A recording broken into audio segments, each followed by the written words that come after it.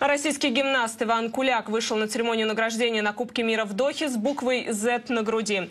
Куляк выиграл бронзу, победил в соревнованиях на брусьях украинец Илья Ковтун. Второе место занял представитель Казахстана Милат Карими. Буква Z – это неофициальный символ поддержки спецоперации на Украине, один из знаков на российской военной технике, которая в ней участвует.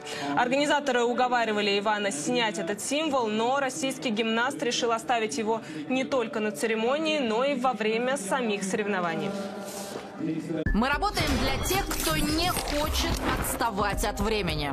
Смотрим 60 минут на платформе смотрим.ру. Просто наведите камеру смартфона или планшета на QR-код и смотрите 60 минут, когда вам удобно.